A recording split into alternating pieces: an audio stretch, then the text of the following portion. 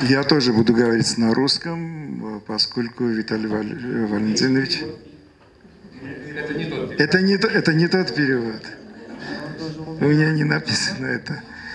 Э, Нет, нет, это не бумажку дали.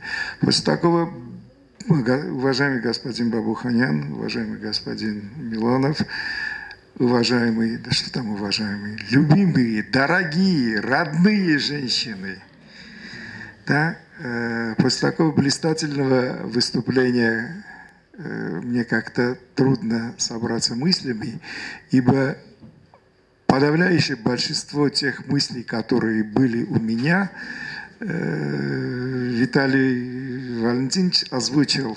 Да мы полностью, полностью... Извиняюсь, это технические моменты. Я полностью, полностью, еще раз говорю, солидарен с господином Милоновым в этих вопросах, и в вопросах женской красоты, и в вопросах семьи, э, и в вопросах традиционных ценностей. Я бы просто хотел, так, слегка, мысли вслух.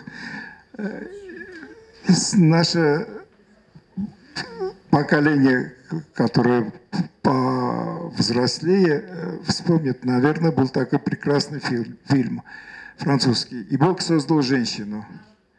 Да, с президентом Бардо. Так, женщины, вы божественное создание. Вы все божественное создание. И будучи божественными, будучи не, не можете не быть красивыми, не можете не быть обаятельными, не можете вы не быть любимыми, ибо любовь – это высший Божий дар человечеству. Я вам желаю любви, любви, большой любви. Я вам желаю счастья, я вам желаю процветания.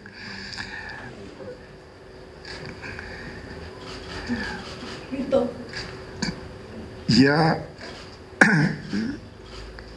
остановлюсь вкратце на одном вопросе э, природы. Вот господин Милонов говорил о природных законах. По-моему, наибольшее, самое большое, большое предназначение вообще человечества и вообще всего живого – это воспроизведение, это репродукция дабы повторять, дабы продолжить род и создать себе подобного, но лучшего, чем мы, чтобы обеспечить прогресс. Вот в этом плане вы, любимые женщины, являетесь,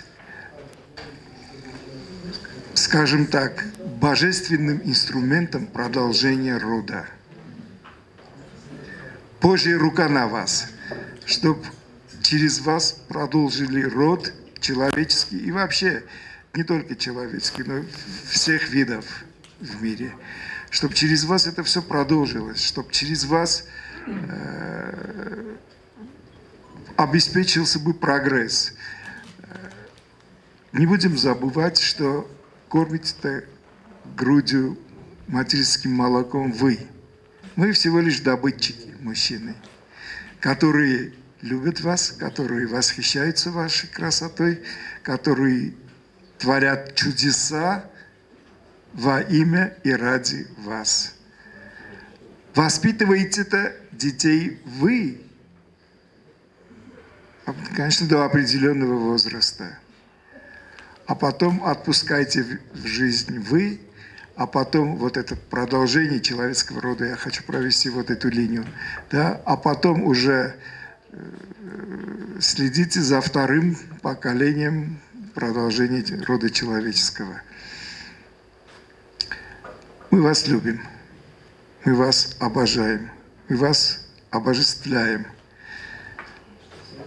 Будьте всегда красивыми и будьте всегда рядом с нами. Будьте всегда для нас. Спасибо вам большое.